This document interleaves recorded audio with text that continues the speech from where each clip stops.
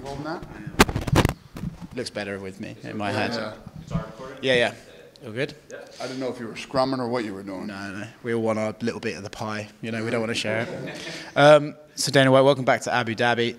You know, sometimes we've had a little bit of a quiet period in mixed martial arts, but when you finish that quiet period with a card like this, it's as good as it gets, right? You have an amazing main card, some great prelims. What are your thoughts heading into tomorrow night? Yeah, I, I don't. I, I don't know if we've been too quiet. We had like one or two days off uh, in the last. I don't know how. Well, you made us take a day off, so Yeah. maybe I've had Yeah, a quieter right, period right, than you. That's right. Um, yeah, I mean, this is one of those cards that's so good, with such great fights, such competitive fights, so many questions to be answered. It's just it's it's exciting even for somebody like me who's there every friggin' Saturday and and makes the fights. Would you agree with me that if you're going to pick someone who could potentially beat Islam, it would be someone like Charles Oliveira? And if you're going to pick someone who could beat Charles, you'd pick someone like Islam. Would you agree that both of these guys are almost perfectly made for each other? A hundred percent. You couldn't make a more perfect fight stylistically. Um, both guys in their prime. It's just, it, it- you know, one of the things about Oliveira is he flies way under the radar with a lot of people. I think he's finally starting to build up that respect that he deserves from, you know, the fans, the media, and whoever else. But, you know, uh, broke every record that you could break. Uh, you know, finished like 10 of his last opponents or 11 of his last 12, whatever it is. Um, has beat the who's who in the nastiest division in the sport. And then a guy like Islam, who is this, uh, you know, I guess almost prodigy, if you will, you know, that, that Khabib and his dad have built uh, since he was young. And the only thing that you would say about him is he hasn't had uh, the, the, the, the same type of fights. He hasn't fought as good of opponents as uh, Oliveira, but he trains with the baddest dude in the world every day. So um, the other thing is, I, I think where the odds makers are really missing in this fight is Oliveira's seen it all, done it all, been in the big fights. Islam, how's Islam going to deal with the pressure on Saturday night? He's never had to deal with uh, with this type of pressure before. I think one of the most underrated things in fighting that people kind of always maybe skip over is momentum. Like when you have a, someone with momentum, they can just sort of do things that they wouldn't have been able to do when they're coming off a loss or something like that. And Charles Oliveira and Islam both have crazy momentum. Right. And you said about Charles is sort of coming into his own. I think this week, he's, you know, he's sprinting onto the scales to weigh and he's sprinting off. Like the guy just seems to have a bit of an aura around him. I think he's finally reached that moment. And yet you got Islam, who basically everyone's in a way sort of been waiting, like, well, that's probably the champion in the future. Like, let's get it. So uh, it's kind of the perfect meeting at the perfect time. I couldn't agree with you more. Uh, yeah, this is all going to come down to uh, how they both feel that night when they get in the octagon, and, and I think nerves, adrenaline dump, and what that all means is experience. Like I said before, Oliveira's got way more experience in big fights than Islam does. This is one of those fights that when they're in the middle touching gloves, you're like nearly having a heart attack cage side, right? The walkout's going to be incredible as soon as they come out, and you know when Buffer starts his whole intro, it's, it's going to be awesome. Co-main event, you got TJ Dillashaw and Aljamain Sterling. Again, Aljamain, we mentioned a bit with Charles, still kind of struggling to find that respect from the fans. You know, he won the title against Peter still a very close fight. We obviously had the knee before that. Beating a guy like TJ, who could be considered the greatest in the division's history, that's the one that will finally probably put him over that line and get him the respect from the fans, right? Yeah, you, you, uh, who knows? Yeah. Who knows? I mean, Aljamain has one of those personalities. When you when you're one on one with Aljamain, he's a great kid. You know, when he gets out in public, he's he's you know he doesn't do himself any favors. Let's just put it that way. And uh, the question is with Dillashaw is does he still have it? You know, sometimes guys show up and he's been off for a while, and you know he's had to battle, uh, you know, a lot of controversy, and and uh, you know we'll we'll see where he's at. Does he still have it? Because you're right, he's he's one of the best of all time. Then obviously you got the Peter Yan fight with Sean O'Malley. Peter Yan yesterday calling him a whore by the side of the road, which is kind of out of character for Peter Yan. But I guess Sean O'Malley can rub you up the right, the wrong way sometimes. When you look at this fight, you mentioned it's like a Conor Aldo sort of situation where it's the moment that Sean O'Malley can break out and become that superstar.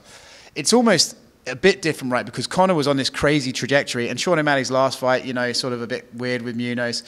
But Peter Yan is so crazy good that for Sean O'Malley, it's like he would have to up his game multiple levels to be able to beat this guy, right? Yeah, it, it's not different. It's it, you, you you have that that thing that people are attracted. To, people like you or whatever. But then you have to win the key fights that that, that come your way. And not every fight is going to be an incredible performance. Uh, you know, where, where you knock guys out spectacularly, but you have to win.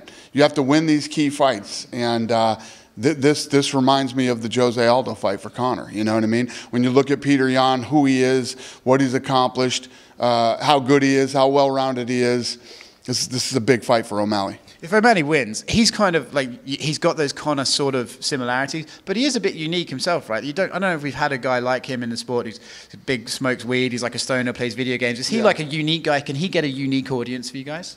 I'm definitely not calling him Conor. You know, th- this was something that, that the media had asked me earlier in the week. Um, you know, he said, "Yeah, I'd like to be the next big superstar like Conor." That, that, that's why I wouldn't compare him and Conor in any way, shape, or form. Conor is unique. O'Malley is unique. You know, every guy and girl that fights here is unique in their own ways. Um, but if you want to talk about him being a global superstar like Conor, this is a big this is a big fight for him. It's a great card. I can't. I'm, I'm Carl. I'm as excited for this one as I have been for any in a long, long time. Outside of this, slap fighting. Is this like the play to get Nate back, or what's the story with slap fighting? I've, I've been working on this for years. I've been working on this this since like uh, 2017 or 18, and uh, finally got it together. And, and, and you know, we're gonna uh, we're gonna launch here soon, and I'm gonna give more details. We have a television deal. Everything's aligned and ready to roll, so it's it's gonna be fun.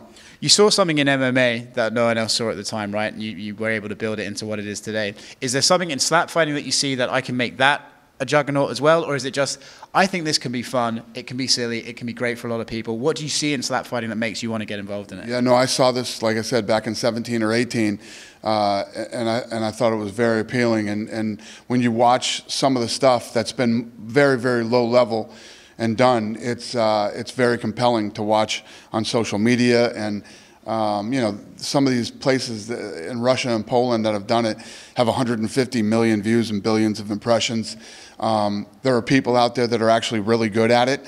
There are people out there that have great personalities and that I think can be big stars. And uh, everything is about timing. And I think the timing is right right now, or we wouldn't have got this big television deal that we got. And especially you mentioned timing, right? You've got a, a rise of like apps like TikTok, which is short videos, viral content. You know, slaps don't take very long. That's perfect for a viral content platform. Am I right? Like I said, the, the lower level, not done well uh, stuff that's out there has 150 million views and billions of impressions. So, yeah, this works on social media. Two more quick ones for you. I know you hate these th- sort of things. Jon Jones, where is he? Are we going to see this guy fight again this year? Can we get that done, or is it next year? What do you think with Jon? Yeah, I'm hoping that, that, that we get him early next year or, uh, you know, in the spring. Uh, yeah, so, yeah. I saw Khamzat Chimaev is in town to, here uh, to watch the fights and stuff. I have a pitch for you for what I would like to see for his career, Okay. and if you wouldn't mind doing that for me, I'd really appreciate it. No problem. Anything for you. Thank you. I, and, I know, and I appreciate that day off you gave me about the Yeah, no, Apex. it's always a pleasure to give you guys a day off. I uh, I did enjoy the beer and pizza that you offered though. That I got to go home and take. Uh, but uh, Hamza, you got Kamaru and Leon rematching. Yep. probably in London. Yep, I think the co-main event for that should be Khamzat versus Colby. I agree with you. Cool. Let's book it. All right, Is I'm that is that confirmed? I'll get it done. Thank you, Dana. All right. Appreciate you.